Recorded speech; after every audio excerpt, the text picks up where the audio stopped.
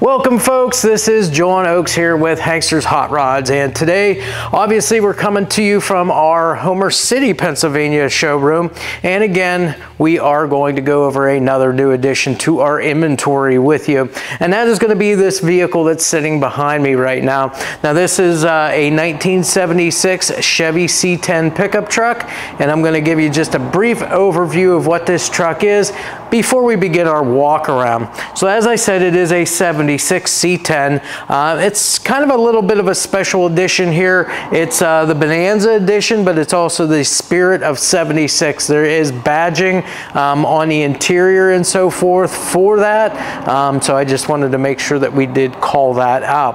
Uh, as far as the drive line goes on this vehicle, we do in fact have the numbers matching motor. It is a 350 cubic inch small block Chevy motor that's in here. We also got a turbo 350 automatic transmission and then a GM 12 bolt rear end. It is in fact a posi unit in that rear end and a 308 gear. It does have factory air conditioning also, which when we open up the uh, hood, we'll take a look at all those components. Um, it is power steering, power brakes, that's disc up front, drums out on the back, complete with the emergency brake all hooked up. And then of course, as you can tell, they've gone ahead and done some custom wheels and tires on this other than what uh, stock would be. Um, these are gonna be 20 inch wheels, front and back. These are the US mags, uh, the bullet style with the gunmetal um, gray uh, accents the milled and polished lips and edges on the wheel itself. Uh, and then as far as the tires go, you're gonna have matching tires front and back as far as name brand and style of tire. And these are gonna be Hankook Ventus V12 Evo 2s here. Um, size on those, I just wanna go over those real quick so I don't forget the sizes. It's gonna be 245 40 R20s on the front. And then out here on the back, we've got 275 40 ZR20s back here. But like I said, matching brand tires, matching tread patterns, so it's the same style tire there. Um, okay, so that's kind of our overview. So we'll kind of start with our walk around, um, going over the vehicle. I'll try to call out as much stuff as I can here for you. So as we can see here, we've got the two-tone paint scheme here. We've got that dark red, kind of almost like a burgundy color here as far as the top and bottom colors go. And then you've got the silver through the center. And then they also have that silver broke up just a little bit here to show that burgundy or that dark red color um, kind of all the way around that silver down the center. As I mentioned, it is the Bonanza edition here. So you see the Bonanza 10 here on the uh, front fenders here for your badging. Um, so all of that looks good. We also have the wheel lip moldings here on the truck. Now they are bright, uh, kind of like the polished uh, look here, but you've also got the black right through the center of them there. So again, a nice looking, it's just not a plain old bright wheel lip molding, kind of a two-tone effect on that as well. As far as our doors go on our truck here, you can take a look at our gaps there to the front side as well as the back side here. And again, those gaps are actually really nice, very uniform front to back. Your elevations are really, really good on this truck whenever you match it up to your fender and your rear cab corner here. Um, as far as the drip rail moldings, those are just done here in the bright here, and those are nice and straight, polished up really nice here. Again, attached secure, and as I run my finger through here, very, very smooth throughout there. Uh, as far as the glass goes, slightly tinted on the side glass here, no chips or cracks anywhere. And then you do in fact have the black window trim around your vent windows here, as well as things like your windshield and your rear glass as well. You've got the chrome mirrors on both sides, and the chrome is in great shape. The glass in those mirrors, there's no chips or cracks anywhere in those. And then the chrome door handles and locks, and those are all in great shape. Now let's go ahead and open up our door, take a look at our interior. And again, very nice looking interior here. We've got the tan interior. Um, it's a front bench seat, obviously, for the truck. And then, of course, you see it's got all the seat belts there, kind of done there in that darker red or the burgundy to kind of help, uh, you know, set the colors on the interior, just like the exterior. Uh, you got factory dash, factory instrumentation. It does have the factory heat and AC controls, and it does have the AM FM cassette player. It's uh, got the uh, kind of a custom cup holder in there. It mounts right in the ashtray there. So kind of it, it utilizes something that you may not otherwise use there and, and makes good use of it there. So you can put your cups and drinks in there. It is a tilt wheel column shift. Of course, it's got the black Chevrolet steering wheel there also. Seat upholstery is in great shape with no rips or tears. Carpeting is in great condition, no rips, tears, and really no fading on the carpet. It looks really, really good there for as old as what it is. Um, as far as our door panels here, you can see those. Those are in real nice condition here. I don't see any cracks or anything. They're all attached secure. Armrest pads, no cracks or splits anywhere in the material there. As I had mentioned there, we've got the Spirit of 76, mainly because this is a 1976. Um, so yeah, that's uh, pretty much it for the driver side anyways. Of course, all of our uh, weather stripping and seals around our door frame here is in excellent shape here. Again, everything looks good here as far as your door edges too. All looks well on this side. So let's close this up. Again, door shuts pretty good there. Again, that's just noted because, uh, again, it's been uh, very well adjusted there so that it does close without, you know, with very little effort. As far as the truck bed sides, very straight on this truck. Again, you've got all the matching wheel well trim. As far as the rear glass, again, you can see it is a tinted rear window one piece, solid one piece window here, so no sliding windows or anything like that. You've got the black trim all the way around, which is in good shape here too. And of course you see you've got the cargo lamp up there on top as well.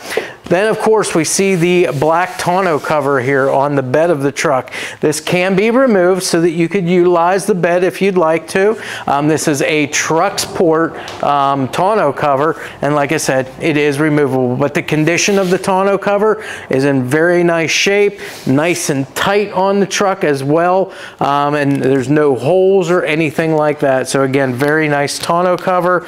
As far as the rear end of the truck our taillight bezels are in in good shape. It's got the bright work for those. Your taillight lenses, no chips or cracks anywhere there. The, the actual tailgate itself, very clean looking tailgate back here. Again, the color scheme follows all the way around. Of course, you've got the Chevrolet embossed in there like it would have been from the factory, um, but no accents, no highlights here, just the colors of the truck. And then down below, you've got your roll pan here in the uh, dark red or burgundy and a clean look back here, no rear bumper on this truck. Um, now again, tailgate opens up just fine. We'll do that for you here on camera. It is tethered there with the hinges. And again, it's got a truck bed liner in it to help protect the floor in here. Again, the bed liner is in good shape. And yes, you do have some uh, floor mats back here that will match in that interior very nice. We just always leave those out so that we can show you the true condition of the carpet underneath. So that's the, uh, the bed, tailgate and such. That closes up nice and easy, no issues there. Now we'll head over to the passenger side. Again, the bed side, nice and straight. As a matter of fact, looking up the entire side of the truck, it is nice and straight the whole way from back all the way to the front. So we'll go ahead, kind of nothing really to really go over here other than what we've already done. All of your wheel lip moldings and such. You've got your gas cap right here. That is indeed where you will fill it uh, for the fuel. Your tank does reside along this side of the truck here. Um, so that is exactly where you'll do that from. As far as the passenger side door now, again, same thing here. You've got your gaps to the back and the front, pretty uniform there. Elevations are dead on on the truck. All your body lines all line up here, so no issues there. The chrome on the door handles, the locks, and the mirrors all in great shape. No chips or cracks in the mirror glass, no chips or cracks in the side glass either in the door. And again, that drip rail molding very nice and straight all the way around that window there. Again, that's going to help direct that water off the top of the roof and not have it come in the door there for you. So let's open up our door. Take a look from the passenger side again. No surprises here. Um, you pretty much were able to see the whole truck from the driver's side. But again, dash is in great shape. Again, that's factory dash, factory instrumentation, the tilt column. Um, you've got the cup holders in there, factory heater controls, heat and AC controls, and again, all the seat belts. The only thing here is you get to see the uh, upholstery here from this side. So again, just notice that there is no rips or tears in the seats. Again, your door panels here on the passenger side, same thing in very nice condition. No rips or tears or cracks in the armrest pads. You got the matching badging here over on this side. Window cranks are all in good shape too. Uh, seals, weather stripping, again, all of that stuff is in good condition. We'll close this up and we'll head up to the front. Just the matching badging here on the fender and then we'll come around to the front of the truck. So again, up front here, of course, the thing we see here, obviously the headlights and grill. All of this is in great shape here. The grill is all intact. There's no splits, cracks, or anything broken up here. All of the bright work is in good shape here. You've got a chrome bumper. Um, shows a little bit of its age. I'm gonna say it's probably the original bumper for this truck, as well as what the rest of it's been taken care of. Uh, this looks to go right right in par with that. Again, I would say not fresh chrome, but again, this still is in good shape. There's no cracks, there's no dents anywhere in the finish. You've got the bumperettes here with the black rubbers on the fronts here. You've got the bow tie emblem right in the center. Of course, our headlights here, that's your glass lens. No chips or cracks anywhere there. Bezels all the way around the headlights are in great shape. And as far as like your parking lights or your directionals, your turn signals, those lenses and bezels are also in great shape. Now as far as the hood goes, stock hood, all steel, gaps all the way around are in good shape on that. Of course, you've got your wipers here, the, the arms, and a good set of blades. The windshield, are there's no uh, chips or cracks there. And again, all the black molding, the black trim work around the window is in great shape and all sec securely anchored. Now we'll go underneath the hood so that we can uh, go over what we've got as far as motor and drive line. So the hood latch itself, the release works excellent. The hinges and springs, those work great. Very little effort to lift that hood up, kind of does it on its own. Um, so those hinges and springs are working as they should. No modifications whatsoever to the underside of the hood. So this is all intact, all of your bracing, good strong hood here. And then of course the engine compartment itself done all air in the, uh, the black, kind of like that flat or satin black inside side here. Now as far as the engine goes, as I mentioned earlier, it is in fact the numbers match 350 cubic inch motor. Um, we'll start at the top on this one. It's got the chrome air filter lid and base with a reusable air filter element there. Again, real nice. You just wash those up, re-oil them, put them back on. Carburetor underneath is an Edelbrock 600 CFM uh, four barrel carburetor and it does in fact have the electric choke and that is all hooked up. Underneath there for the intake we've got an Edelbrock Performer intake underneath there um, so that's kind of your air and fuel delivery for the vehicle.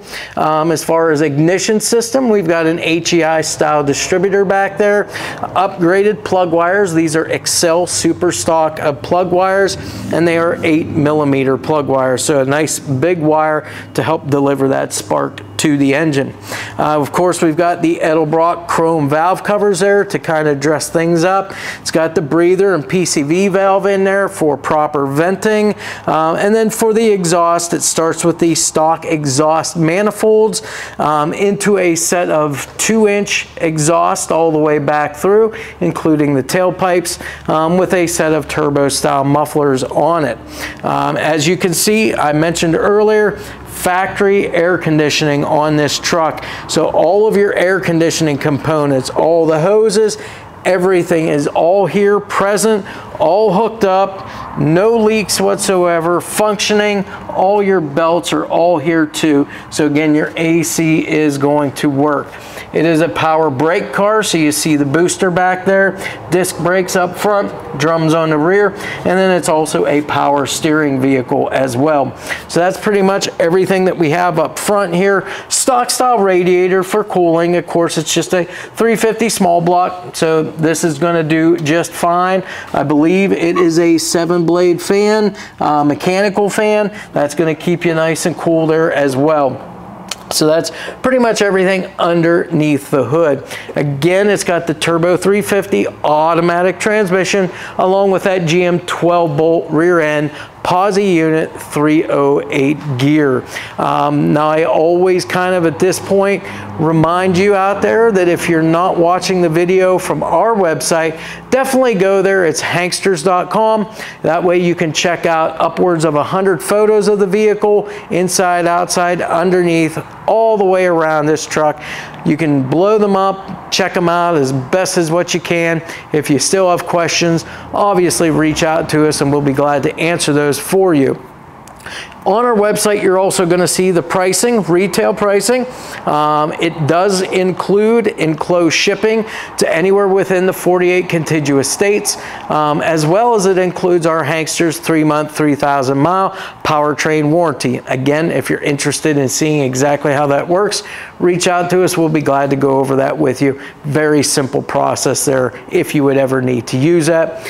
And again, here at Hanksters, we do all kinds of accessory add-ons, um, installations, and so forth. If you saw or thought of anything at all that you would like to possibly add to this vehicle, um, I know certain things that we normally do is things like air conditioning or power brakes and such, power steering. Um, again, this truck has all of that. But again, no matter what it is, if it's something other than that, reach out to us.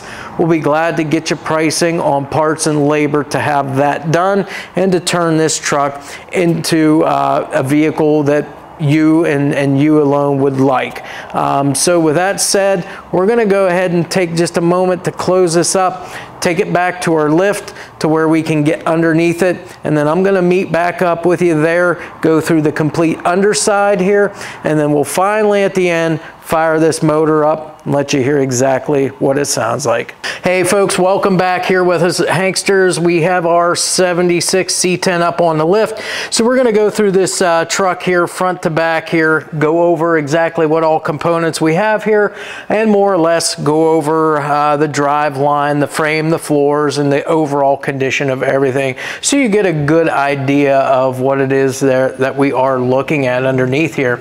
So starting at the front, of course, uh, we always start kind of at the radiator. So again, we're looking at the bottom. We want to make sure that there's no leaks or drips on this. And of course, it is nice and dry underneath here. Uh, also, it does have a full shroud on it. Um, there's no splits or cracks anywhere in that shroud. So that's going to help keep things nice and cool for you.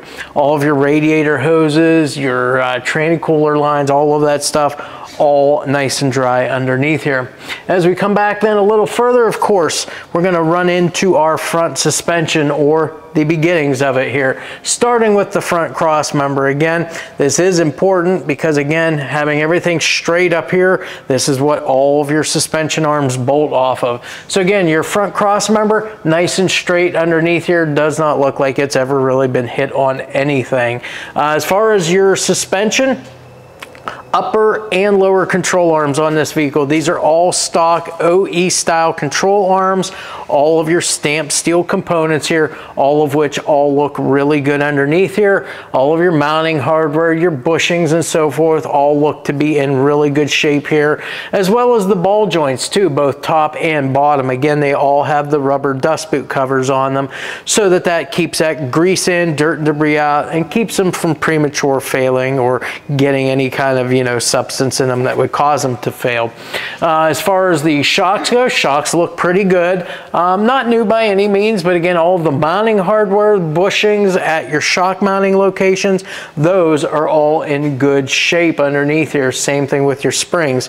Now, as far as the steering goes on this car, on this truck, it is a power steering truck. So whenever we're, uh, you know, given that, we always check out your steering drag link, the pitman arm, tie rods and tie rod ends. And again, all of this stuff has been checked over thoroughly and it is all in good shape. Again, tie rods all have the rubber dust boot covers on them. And brakes power brakes on this truck. It does have the disc brakes up front. That looks to be just your typical GM stuff here. Again, stuff that you can get at just about any auto parts store locally to you um, whenever it comes time for replacing things like brake pads and rotors and such. Um, so again, disc brakes, power disc brakes up front.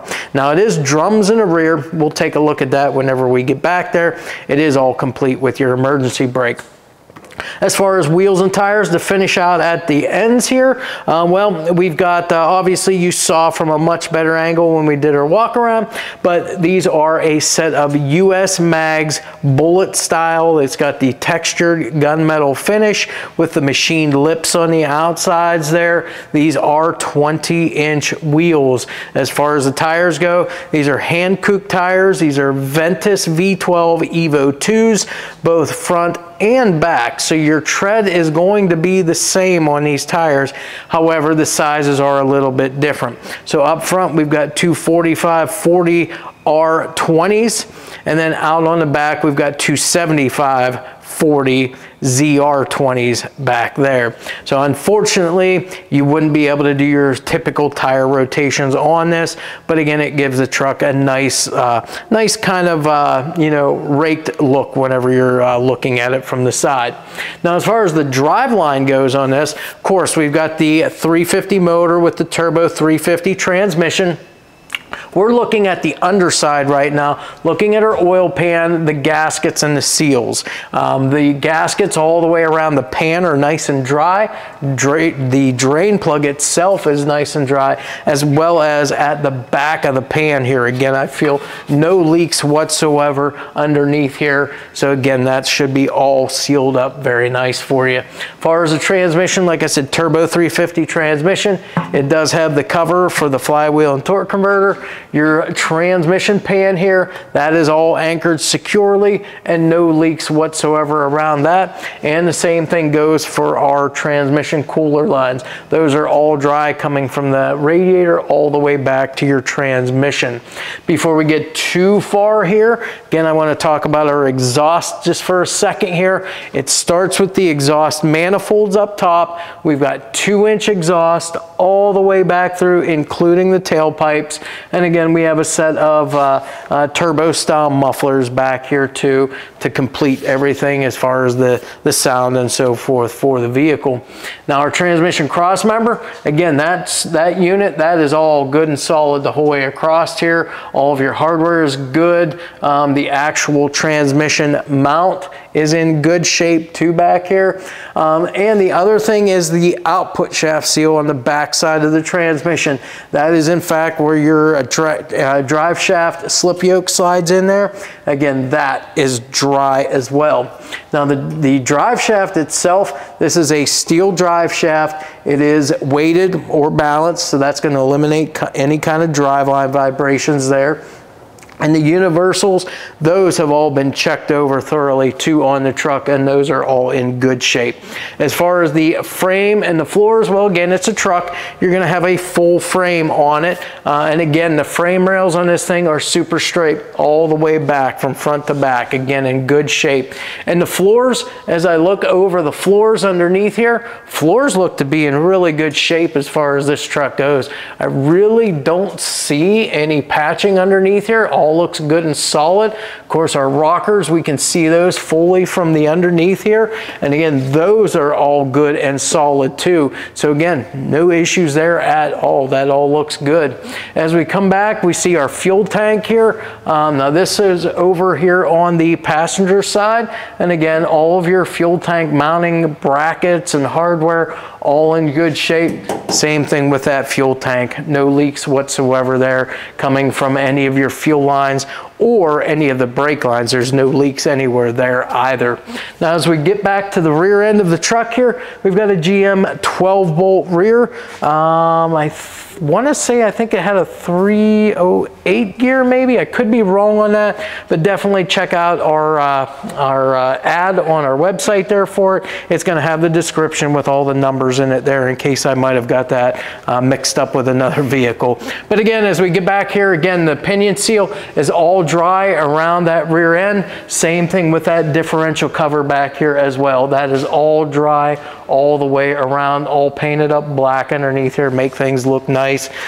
And then as far as those brakes go, again, they are drum brakes on the back. Like I said, all of the emergency brake equipment, the cables, all the mounts, all the frame hooks and everything, those are all pre present, all uh, hooked up and all functional. And then again, same thing with the wheels and the tires here. We've got those US mags, the bullet style wheel with the textured gunmetal finish, and then the machine lips 20 inch. And then like I said, it's got this Hankook, um, the, the Ventus, uh, V12 Evo 2s, and the size on the backs was 275 40 ZR20s. Um, shocks back here all look really good. Again, your bushings and mounting hardware, both top and bottom, all in good shape. Multi-leaf rear suspension back here as well. So again, all that's good. And as far as the truck bed itself, again, we see the rest of the frame and the metal for the floor, and that is all solid the whole way back here. And then of course, we see our tailpipes, which each one exits underneath each of the uh, the uh, uh, uh, uh, quarter panels back here or the bed sides here to get that exhaust out from underneath the truck. So that's uh, pretty much it for the underside of our truck. Everything looks good and solid underneath here. No issues that we can see as far as that goes. Uh, again, um, I always like to remind you folks that yes, we are an ATC trailer dealer, multiple models in stock. So if you're in the market for a race or an enclosed car trailer, um, definitely uh, check us out there. You can get to it um, off of either a classic car site or going directly to the trailer site, which is hankstershaulers.com. Again, you're gonna see all the pricing, the pictures, options, and description for everything that we have also, um, again, we uh, assist uh, whenever you pay the full retail, we will assist with finding the, uh, the carriers for you as far as a transport company goes. Um, you don't have to do anything. We'll take care of it all for you. Um, we'll let you know once we find a carrier, um, and all you got to do is give us the final approval on going ahead and getting that uh, dispatched out to them. Uh, and as far as financing goes, we work with several finance companies very closely with our classics as well as our trailers.